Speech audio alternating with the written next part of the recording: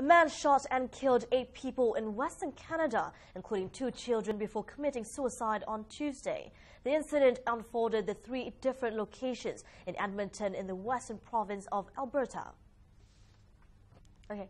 Seven of those killed, three women, two men, and two children, were found in the same house, while the eighth victim was a woman.